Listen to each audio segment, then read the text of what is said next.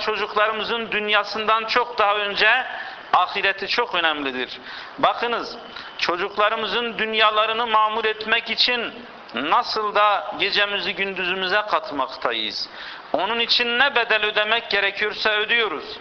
Yani hasta olduğu zaman hastaneye gitmek, onun giyimi kuşamı, okul masrafları, hayatındaki sair bütün ihtiyaçlar. Sadece çocuğum bu dünyada ona buna muhtaç bir birey olarak yetişmesin diye habire uğraşıp duruyoruz. Peki ahirete gelince ne oluyor? Mesela biz çocuğumuzu doktor yapmak istediğimizde onu yapamazsak da bir mühendis yapmayı başarıyoruz. Biz çocuğumuzu eczacı yapmak istiyoruz. O olmasa da bir öğretmen yapı veriyoruz. Biz çocuğumuzu elektrikçi yapmak istersek onu başaramazsak da kalıpçı yapıyoruz. Yani mutlaka bu dünyada bir meslek sahibi olması için elimizden ne gel geliyorsa yapıyorum. Çocuğumuz bir gün karşımıza çıkıp dese ki usta bana beni dövdü derse bir, bir sillede biz atarız. Tabi dö dövecek yavrum meslek öğreniyorsun deriz. İşte okulda şöyle oldu böyle oldu. İşte üşüdüm tabi üşüyeceksin yavrum. Sen büyük adam olacaksın der. Bütün çilelere katlanması gerektiğini ilmik ilmik ona işleriz. Ama çocuğumuz bir gün koltuğunun altında sadece kuru bir elifba eve döndüğü zaman baba bizim falan komşunun oğlu beni dövdü hocada derse yavrum bir daha gitme ne olur ne olmaz deyiveririz. Ondan sonra da savunmaya geldiği zaman şöyle deriz. Hocam geçen yaz gönderdim camiye komşunun oğlu dövmüş. E ben çocuğumu onun bunun dövmesi için mi büyüttüm? Bir daha gitme yavrum dedim. İşte ikinci yaz gönderdim. Hoca çocuğuma yan baktı. Yan bakmış. Çocuğum bir geldi ki sararmış solmuş. Bir daha gitme yavrum dedim. Ne kadar beleş.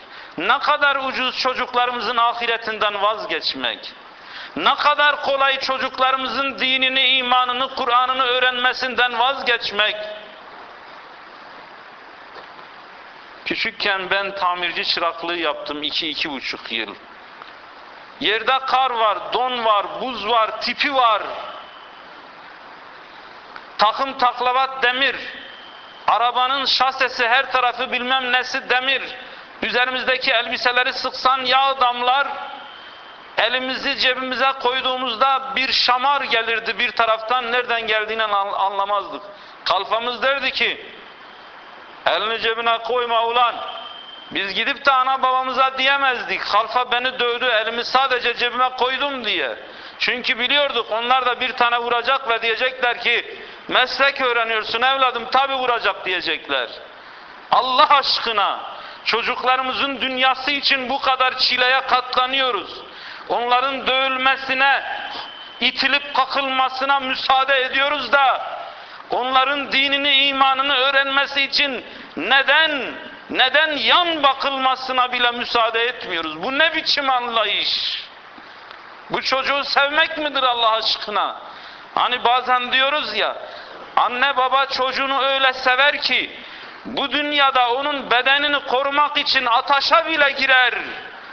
Ama çocuğuna dinini, imanını öğretmekle kendi eliyle bu dünya ateşinden yüz derece daha yakıcı olan cehennem ateşine atıverir. İslam'dan mahrum yavrularımızın yönü cehenneme doğrudur. Bu böyle gitmez muhterem kardeşlerim.